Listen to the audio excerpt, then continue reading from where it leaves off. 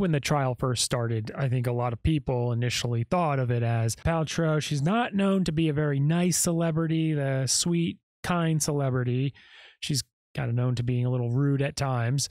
And um she's probably trying to get out of this because she did it and you know she just doesn't want to take responsibility doesn't want to have bad press that she injured this poor guy and things like that i think initially people were kind of on that side her story seemed quite plausible right it was like hmm, i guess that kind of seems right the whole thing of him sticking bowl skis between her legs was a little weird I mean, that seems a little difficult to do. So maybe maybe some of that's not true. I don't know.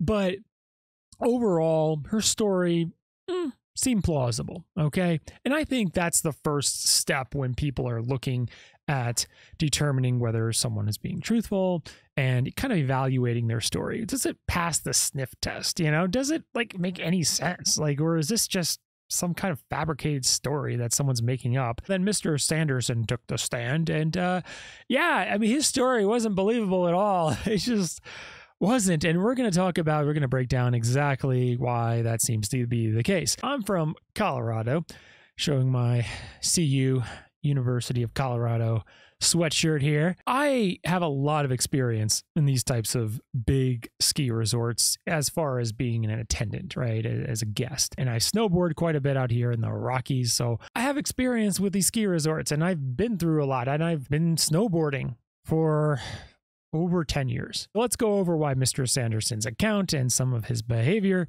doesn't make any sense, is not congruent, and um Seems like he's actually lying and is trying to get a few bucks out of a celebrity here, according to Mr. Sanderson, who at the time was 69 years old. Now he's 76 years old. Keep that in mind. He's claiming, you know, this accident caused a whole bunch of dementia and a whole bunch of personality changes and things that made him feel old when in fact he is of the age of where things like that happen. Keep in mind too, this accident happened in 2016.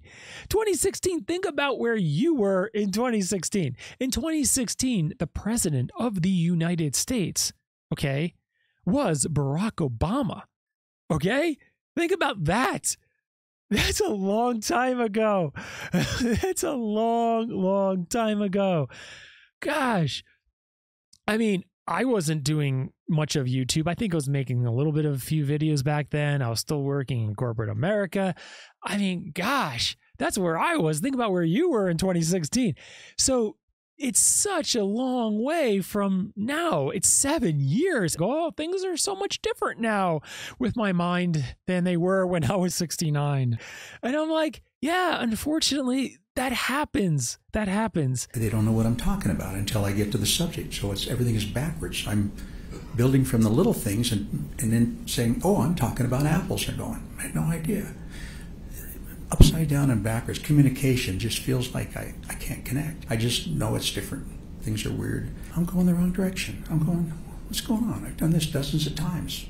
I was lost. There is forms of atrophy in the brain that occur typically when you start to get into those later stages of life. It's just a fact. So, you know, for him to, you know, now be saying, oh, what was the crash? You know, it was because this girl crashed into me and, you know, I broke ribs and I bruised ribs and I bumped my head. That's when everything changed in my life. Well, no, it was also because you were getting older in that stage of life. Call saying uh, that you agreed that saying I'm famous was a crazy thing to say. Agree? Absolutely, it's not me. It's, I don't buy into that. But it was you, right? Just to right. be clear. When you say it wasn't me, it, it was in fact you. It's the other personality that's inhabiting my body right now. And you blame Gwyneth Paltrow for that Yes. he can't be just blaming her for his form of aging.